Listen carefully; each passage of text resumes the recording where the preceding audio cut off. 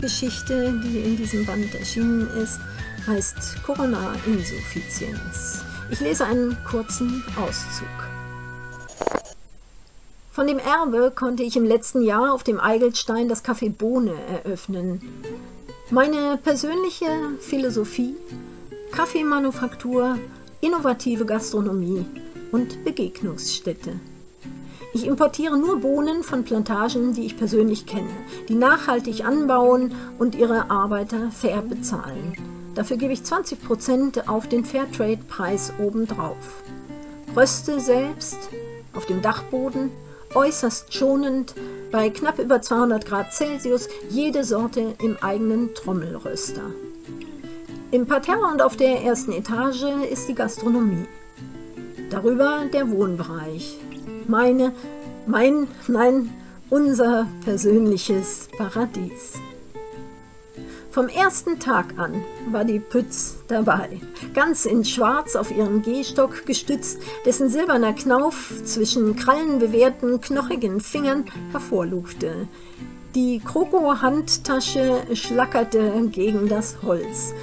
Die weißen Haare hatte sie zum Nackenknoten gebunden. Darüber saß ein schwarzes Kapotthütchen, dessen kickdrapierter Spitzenschleier die Stirn halb bedeckte. Dame durch und durch. Nicht zuletzt der Gesichtsausdruck, ein Pokerface. Sie erwiderte meinen Gruß nicht, sondern spähte nach rechts und links, setzte sich schließlich in Bewegung und steuerte den letzten Tisch am Fenster an, von wo aus sie mit dem Rücken zur Wand nicht nur die Straße, sondern auch das Café bis in den Arbeitsbereich in der Küche überblicken konnte.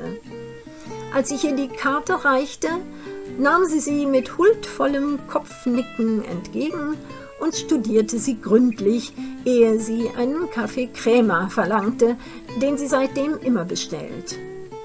So wie sie immer den Tisch in der Ecke haben will und kriegt. Da sie meist schon vor der Tür steht, wenn ich aufschließe, kommt es so gut wie nie vor, dass er bereits besetzt ist. Mit der Zeit habe ich mir allerdings auch angewöhnt, ein Reserviertschild darauf zu platzieren, das ich erst abräume, wenn sie gegen Mittag aufbricht. Gelegentlich kommt sie auch nachmittags vorbei. Dann muss, bitte ich Gäste, die sich in der Ecke niedergelassen haben, den Tisch freizugeben, was schon mal auf Widerstand stößt, aber bei ihrem Anblick lächeln die meisten verständnisvoll. Ihre scheinbare Gebrechlichkeit mag dazu beitragen gepaart mit einer Hoheit, die keinen Widerspruch duldet. Ein bisschen wie Queen Mum, die zu Lebzeiten allerdings ein wahrer Sonnenschein war im Vergleich zu Apollonia Pütz. Nein, vorgestellt hat sie sich nie. Sie bevorzugt die schriftliche Form. Herr Huber, so beginnen ihre Briefe, mit Entsetzen habe ich zur Kenntnis genommen, Höflichkeitsfloskeln hält sie sich nicht auf. Die Schlussformel lautet stets in größter Sorge und Erwartung einer Besserung. Apollonia Pütz. Damit meint sie nicht meine Gesundheit. Die geht ihr sonst wo vorbei. Wie ihr alles jenseits der eigenen Befindlichkeit sonst wo vorbeigeht. Auch wenn sie die Dringlichkeit jeder ihrer Beschwerden damit unterstreicht, dass es keineswegs um ihr persönliches, sondern um Wohl und Wehe mindestens meiner Kundschaft, wenn nicht der Bewohner des Planeten gehe.